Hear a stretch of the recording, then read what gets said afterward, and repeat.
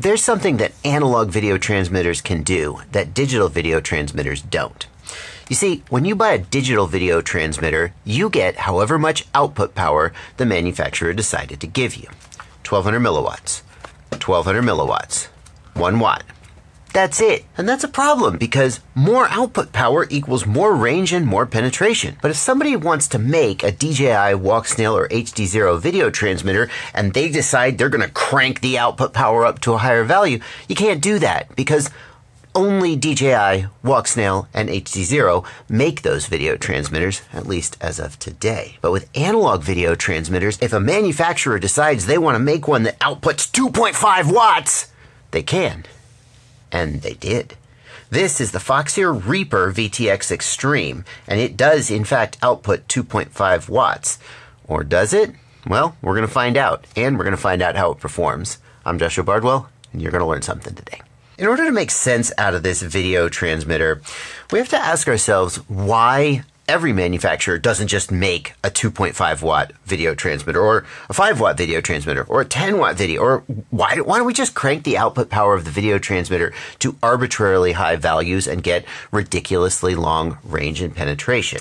And the first reason that video transmitters don't go higher is regulatory. In the United States, at least, the maximum output power allowed for a video transmitter that is used in telecommand of a remote control aircraft is one watt. And so all of these video transmitters coming in at over one watt are technically in a legal gray area. In fact, years ago, I think it was GetFPV that got fined, and many manufacturers refused to import and sell video transmitters over 1 watts, as if they were explicitly marketed for use on aircraft. In fact, one store started a whole separate website with ground vehicles on it, and they sold the 2 watt and 3 watt video transmitters on that website, but not their FPV focused multi rotor aircraft website. That issue is unlikely to matter to most customers who just want to buy something that gets the job done. And we have seen some US stores importing this, so maybe they've decided that that issue is worth the risk or they figured out ways around it. The other big reason that we don't see more high powered video transmitters is size, weight, and heat buildup. And size and weight, well, just the bigger your amplifier, the more power you're going to consume, the bigger it's going to be. And so there's a, there's a limit. But the limit is way higher than we really see. This 2.5 watt video transmitter comes in at only 12 grams. So clearly there's a lot of headroom in the size and weight budget to have higher powered video transmitters than we have typically seen. And you might think that power consumption is what matters. Yes, if you output more power, you will draw more power. So could that result in shorter battery life? And the answer is Technically, yes, but practically speaking, your motors are drawing so much more power than your video transmitter that even if you double or triple the uh, the uh, power draw of your video transmitter, you're not going to notice it's it's seconds of flight time difference. It's just not that big a deal unless you're flying very very small quadcopters like little tiny whoops with 300 milliamp hour batteries. No, the real limitation in the output power of an analog video transmitter is heat buildup and heat dissipation. The more amplification you're doing inside the video transmitter, the hotter it's going to run, and then eventually it will damage itself. They usually have built-in temperature protection circuits that shut down the amplifier when they overheat, but then you see, if, you, if you're trying to output 2.5 watts, but then as soon as you do, you overheat and you shut down, you're not really outputting 2.5 watts. So the big question with this video transmitter is, has Foxeer designed it in a way that it can output 2.5 watts consistently without overheating and shutting down? And if so, is it worth the size, weight, and price to put it on your build? On the back side of the Reaper, we can see it's got a fairly standard feature set for a video transmitter. The input is between 7 and 36 volts, so certainly up to 6S and even a little bit more than 6S if you want to. There is tramp telemetry control, so you can do video transmitter control, not with smart audio, but with tramp telemetry. It doesn't matter, really no difference there.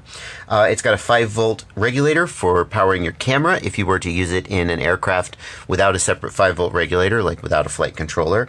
And uh, then there's the video output and the ground.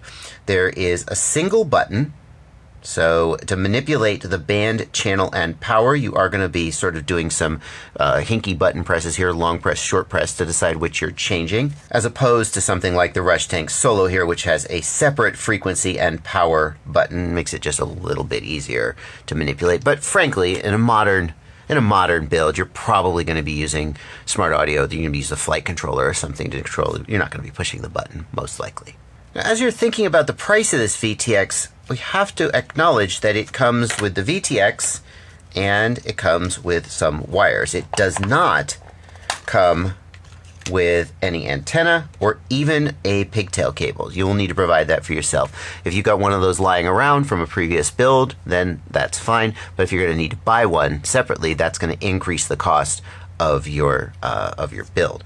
Uh, most people are probably not going to use a pigtail. They're just going to buy an antenna with an MMCX connector directly connected and plug it straight in. And you'd have to buy that antenna for your new build anyway, so maybe that's not really a big deal for you. Before we can test the output power of this video transmitter, we're going to have to unlock it. It ships in a locked mode that doesn't give access to the full output power or all of the channels. And there's some regulatory reason why manufacturers feel like they have to do this, but I'm always a little confused because, like, for example, the little frequency card that they include says that any output power over 25 milliwatts requires a ham license to operate legally. That is not true. All power levels in the United States for this video transmitter require a ham license. 25 milli- there is no 25 milliwatt exemption in the United States. This video transmitter is not Part 15 certified, therefore you need a ham license to operate it. In Europe, there is a 25 milliwatt exemption that everyone ignores, but okay. But they specifically said ham license, and that's a USA thing. So it's kind of nonsense. They ship it locked and they act like there's this, oh, if you have a ham license, you can unlock it, wink, wink. But you're supposed to have a ham license whether it's locked or unlocked. So it's, I don't know. They keep doing it though, so maybe there's a reason I'm not aware of. To unlock the video transmitter, I'm going to hold down this button until the red LED power is blinking. It's gone off. It's on. Now it's blinking. When it is on again, release the button. It's on again. I'm going to release the button. Okay. And then it says blinking red LED is unlocked, constant red LED is locked. So we want to see it. It's going to blink this sequence, which indicates which channel it's on. And then we want to see a blinking red LED. The next thing we're going to do is measure the output power of this video transmitter to see if it makes its rated 2.5 watts. But before we do that, I want to take a second to remind you that I have a Patreon website. Patreon's a website where you can subscribe to me for as little as $2 a month or more if you feel like I've earned it. The amount you subscribe at is totally up to you and you can cancel anytime. Patrons get access to my Discord server where you can chat with other patrons, get help, and just talk about FPV. And they get access to podcast uploads of my uh, live streams if you want to listen to them instead of watch them live. Uh, but mostly, what you get by joining the Discord is the awesome feeling of supporting the work that I'm doing here. And if you hear that and you go, what are you talking about? It's just not your time yet. That's cool. If today's the day you feel like you've, I've earned it, there's a link down below. If I haven't earned it yet, I'll keep making content. I hope you'll keep watching the content, and uh, maybe that day will come. Now it's time to measure the output power and the heat dissipation of this video transmitter. We're going to be measuring the output power using the ImmersionRC RF power meter. Don't uh, let the fact that it's got a Rotor Riot logo on it fool you. Uh, they did a collab way back when. This is made by ImmersionRC, the same company that makes the Ghost Control Link and the Tramp video transmitter. And uh, we've got this FLIR camera here to measure the uh, temperature. And you can see the max temperature it's reading right here. Sorry, it's upside down. That was just the best way to get it in frame. 34.5 degrees Celsius. And you can see the center reading right here. And with 25 milliwatts on race band 1, we're seeing about 35 milliwatts of output power. Well, here we are about 10 minutes later. The video transmitter has stabilized at a pretty solid 26 milliwatts. Maybe that's why it was originally at around 30 because they knew it would heat up and come down. Uh, that's a, that's pretty solid, and the temperature is uh, holding around 70 degrees Celsius. Completely respectable result. Let's move it up to race band 8 and see if changing the channel changes the output power. Sometimes that happens with video transmitters, although it really shouldn't happen at 25 milliwatts. Bam dead on, 25 milliwatts. Fantastic.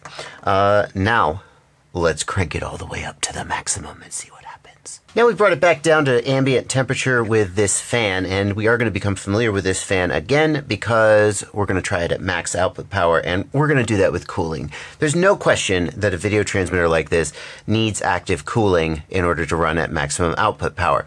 On a quadcopter, that's going to happen because it's just getting air from the props and from air blowing around it. Uh, that's just to be expected. Here we go. Three, two, one powered up. Let's turn the fan up to max.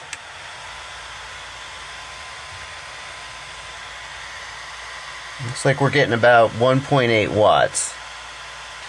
That's on race band 8. We're getting 1 watt, 1.7 watts. That's that's a lot less than 2.5 watts. About 10 minutes later, we are holding at about 75 degrees Celsius, and the output power is stabilized at about 1.5 watt. And if we turn off the fan, let's see how long it takes to just shut down completely. Well, that's weird. It still shows we're outputting 1 watt, but we are not getting any video signal anymore. So the lights are all blinking, and the VTX still thinks it's working, but it is definitely toast. Uh, so that was another five-ish minutes. Let's give it some air and see if it comes back. Yes, immediately. Okay, so uh, there you go. That's what you can expect out of it. At the beginning of this video, I said that the ImmersionRC RF power meter is not a lab grade piece of equipment and the measurements might be a little bit off. But this is pretty far off, farther off than I think the ImmersionRC meter should be. But just to cross check the measurements, I bought another brand new ImmersionRC RF power meter, and it read about the same as the first one. I tried a different MMCX cable in case the cable was messed up. I tried different connectors, and I cross-checked it against a Rush Tank Solo VTX, which measured about what it was supposed to measure. Uh, so it sure seems to me like this uh, video transmitter is not making the 2.5 watts that it says it will on the label. However, there are other YouTubers out there, including Gal Kremer and Wesley Vardy, who have measured it at 2.5 watts. I don't know if they just got lucky and got a unit that was a little overpowered, or I got unlucky and got a unit that's a little underpowered, or maybe the fact that I bought mine anonymously and they perhaps were sent theirs by Foxeer. I don't know, but the results are what they are. Should you buy the Foxeer Reaper 2.5 watt analog VTX? In order to answer that question, let's compare it to the Rush Tank Solo and the TBS Unify Pro 32 HV. Both of them are, I think, like two of the leading contenders for a high powered analog video transmitter. Both the Rush Tank Solo and the TBS Unify Pro 32 HV advertise themselves as having 1 watt plus of output power. Both of them have been tested to output as much as 1.6 watts depending on various conditions. Both of them are about $10 cheaper than the Foxeer. They come in around 50 bucks. The Foxeer is around 60 bucks. And bear in mind the Foxeer does not include any MMCX pigtail or anything like that, which may change the cost equation a little further against it. Both the TBS Unify and the Rush Tank Solo have a microphone built in, so if you fly with audio, that's going to steer them your direction. Uh, whereas the Foxeer doesn't. If it has a microphone, there doesn't seem to be any reference to it or indication of it on the outside. So there you go. The real question with the Foxeer is, does it make its rated output power? Because if it makes 2.5 watts, then that extra 10 bucks is totally worth it. But if it only makes around 1.5 or 1.6 watts, maybe it's not. And mine didn't make 2.5 watts. Nevertheless, it did make more than both of the Rush Tank Solos that I tested which capped out around 1 to 1.2 watts. And the difference between 1 watt and 2.5 watts is about a 50% increase in range. So if you do get a good one, it's going to give you a lot more range. But um, I'm not sure I feel super strongly. If I had bought if I had bought this and I was expecting 2.5 watts and I only got 1.6 watts, I might not feel so great about that. That's tough. That's tough. Uh, if you're interested in picking up one of these video transmitters, there are links down in the video description below. It sure helps out the channel if you click those links. Uh, in addition, if you want to know more about how to use this ImmersionRC RF power meter, because like, how would you even know? If you bought this video transmitter, you, how would you know if you were getting 1.5 watts or 2.5 watts? That's why this damn thing is so freaking useful. It's been out of stock forever, but they just did a new run of it, and you can actually get one today. If you think this might be worth 100 bucks, I'll put a card on screen with a video going through the features of this and how to use it, and uh, you can see if you uh, think like it's something you want to pick up. Thanks so much for watching. Happy flying.